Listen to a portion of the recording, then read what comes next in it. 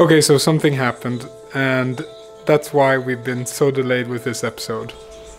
Turns out skiing is dangerous. I ended up hurting my leg really bad. I've been in the hospital for two and a half weeks now and still counting. So, uh, here, these are all the the titanium metal parts in my leg. yeah, Albin, you can take it from here, I think. So we want to wish Isak the best, and we're very thankful for everybody who supported us along the way. And we wanted to show you the episode anyway. Enjoy. Enjoy. Sorry for the delay. Welcome to Uniti Update. Episode 30. Wow! It's absolutely massive. And even this is undescribable with words.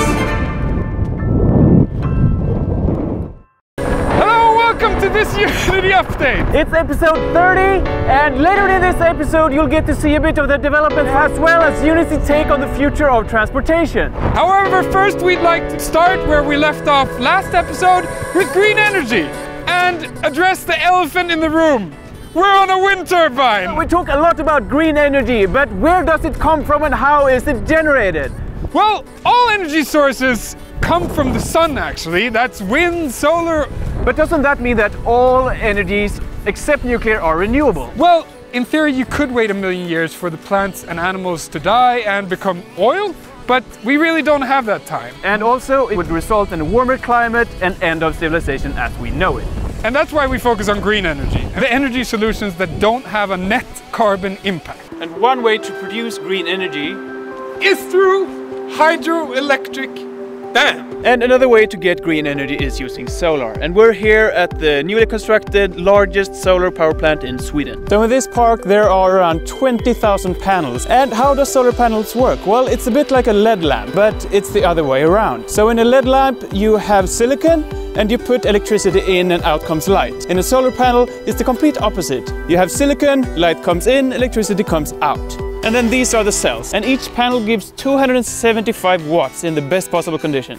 And some might think the more sun, the better. But actually, electronics and solar panels works better in colder conditions. The optimal time of the year for solar panels here in Sweden is autumn and spring.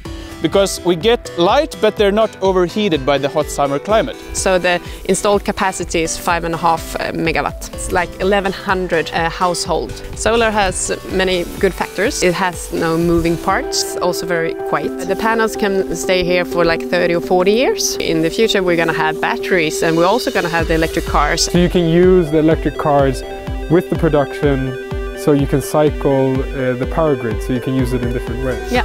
Okay. So both solar and wind uh, have the good thing that their fuel is coming To them. to them. Exactly. For free. And- for free. the wind and solar are very good uh, together. Wind power produce more during winter and a little bit less than in the summer. Solar is just opposite. Really They're good. negatively Yeah. correlated. Meaning that when the sun shines, it's normally not that windy, and when the wind blows, it's normally not that sunny. Nice. Perfect. Och vi är uppe på 1600-1700 kilowatt nu, så vi är ju bra nära maxproduktion. 2000 kilowatt turbine. Autumn and, and winter is the best period of the year. Yeah, it's pretty much optimal today. We will stop down the turbine now. The blades will pitch back. That's the main thing in the stop sequence. Heading up into the wind turbine. And this is a luxury wind turbine because it has an elevator. It's a very small elevator. We're buttoning the last one. How far up are we going? Uh, 90 meters. Nice.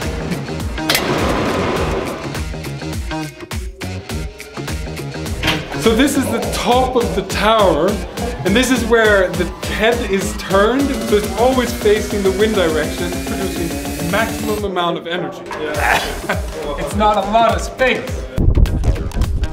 Okay, so now let's see what's inside here and go through how it works. The blade is out that way together with the hub. Then you have the main shaft here, Okay. where it's connected to the gearbox. You have a rotation around between 15 and 20 RPMs. This is quite slow. The bigger the turbine will be, the slower it will be. So these blades are 45 meters long. And as you can see, they're pitched now, and that's actually how you brake the wind turbine. So instead of having a brake like on a car or a bike, you actually turn the blade so less wind is caught. Here in the back you can actually see the control system so that it knows what direction to turn the turbine in so that it's always facing the wind. And then you have the gearbox. Okay, and that's to get the right frequency for the grid and the right speed for the generator. When it goes in here, it's around 1500 RPMs It was 1,100 households. for one turbine. Yeah. Around 10, 20 meters per second, the turbine is producing almost maximum. Okay, so when you look at your weather at home and it's between 10 and 20, then you know all the wind uh, turbines are going. So now it's a little shaky up here, it's going back and forth. I mean, it feels like you're on a boat. Do people get seasick up here? Yeah, they do. Quite interesting what this thing is. It's an emergency exit where you actually use a hook and you could hook yourself through a trapdoor and go on the outside down if there's an emergency.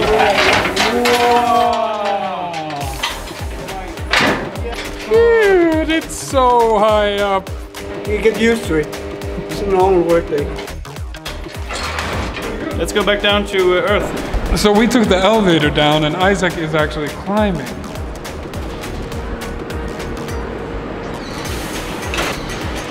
But the big drawback with these energy sources is that you cannot choose when they are produced. Well, then you can actually store the electric energy into kinetic energy, into big wheels, or you can pressurize air into big massive caves, or you can pump water from down here Back up to here, where you can then reuse the potential energy stored in the water when you need it. Like for example at nighttime, just like a battery. or you can just use a battery. This is where electric cars come into the picture. So you can actually use these batteries 10 years after they've been in cars for energy storage, just like the researchers said in our previous episode. And then you can put them in a shipping container on a field like this. So that might seem like the distant future for energy today. But there are already whole nations already implementing an almost green energy system.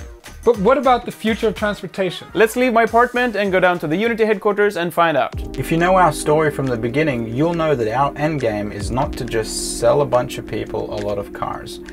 We need to increase the utilization of vehicles, and the way to increase utilization is to find out what is traffic in urban locations doing. People are going to buy bread or milk or go to a restaurant or carrying out all the activities of their day. Now, in a digital context, with an optimized platform available for the public, it can be a way to solve some of these mobility challenges, to create jobs for people who can access the vehicle to go and make deliveries, whether they be people, pizzas, or packages. We can't go into too many details and, and show too much of our IP right now for the purposes of protecting our existing investors, which are now numbering over 5,000 people. So we've been hard at work with the app development, and we think now's a good time to hear your feedback. We'd love to hear your input. What kind of features and functions should the software layer of our vehicle platform have, both in the car and on your mobile device? The team has been hard at work developing both. So the use cases we're showing you here are pretty standard car sharing use cases. Peer-to-peer car sharing, free floating or station-based car sharing. Now, we're going to really hone in on certain niches when we bring our product to market so that we can create the highest impact, the highest amount of scalability, and develop a significant job creation endeavor for societies and for people around the world. But for now, we're just showing you the basic stuff. I'm just going to open up the mobile device app. So I'm looking at Joe Some Guy, a standard user.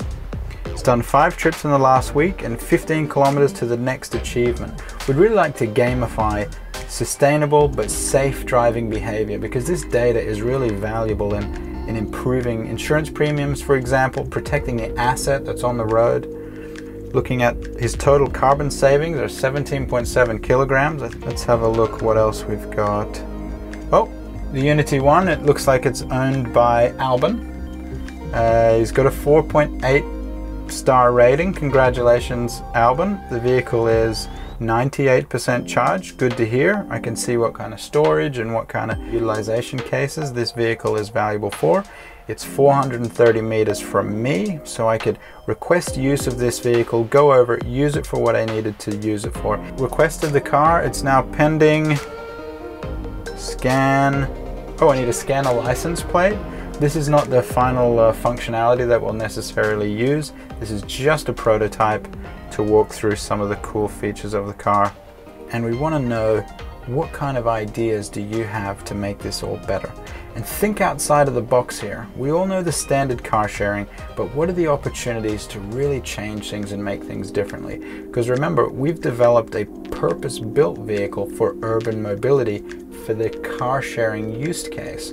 So scroll down into the comment section below and put down any ideas that you have that you'd like to see in the final product. We're really looking forward to reading it and finding out will some of those ideas end up in the final product. So all that is possible today, and that's really why we're building it, to have a car that fits into the digital age. But let's talk about the future. Because in the future you might not have your wallet, keys or phone, but unless something went terribly wrong you will still have your hand. A while back you got an implant in your hand and became a cyborg. So that was quite an intense experience, but we thought we'd show that to you now. Hey guys, I'm Johan. I'm the founder and CEO of Biohax International, and we do technological enhancement of humans. Right now, we're using NFC microchips to enhance your digital seamless lifestyle. So instead of filling up your pockets with money and plastic and key fobs and 5,000 year old inventions from Mesopotamia, you get one implant to rule them all. Letting this go into here allows you to fully control access in, in, in, your vehicle as well. The chip we're using right now is a NFC chip. It's exactly the same technology we use to do contactless payment, boarding the bus, access management in any office, putting it all in one place, in you, on you, and with you. So you'll never lose it. That's the future. Albin will be able to seamlessly move about his digital everyday life. We need one piece of I'm Gonna get the injector with a preloaded chip in the syringe, tiny band-aid, and big brother band-aid. What? Oh. Are you, are, are, you, are you nervous, Albin? A little bit. Why? I don't That's look. going I don't, of me. I don't look trustworthy. Don't you? Don't you? Don't, you trust, me, Albin? Oh, all right. You're gonna need some. I've done plenty of these, so there's really nothing to be nervous about. Um, oh well, there is. It, it's a, this is just to make sure the nanobots don't get cross-contaminated. don't use that. Getting really, really close to Albin's upgrade. Go ahead and take your last analog breaths. Are you nervous? A tad, yeah. I can tell. If you just take one big deep breath in and exhale, that's it, my. You are digital. How cool is that? There you go. Um, so now there's a chip inside my hand. So this means that Albin will always have his card with him so that he can ride the bus, ride a Uniti or even pay. Or I can subscribe to our YouTube channel with my hand. And you should do the same by clicking the subscribe button below. But I'll be doing it with my hand. So there you have it, the future of hands. And now I'm subscribed.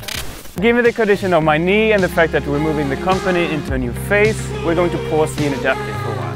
It's been a wonderful 30 episodes and we've built this great community. We've got so much great response and we're so thankful for that. It's been a great time doing it and thank you for watching us all this time. Now we're going increasingly more into stealth mode, which you might have already noticed. However, do keep an eye out in all our social media channels and maybe on the roads in your town. So once again, thank you for watching.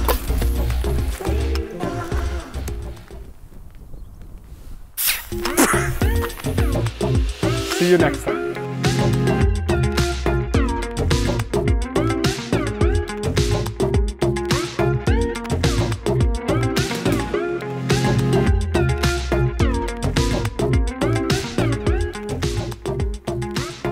A great shelter if you're abandoned in a solar power field.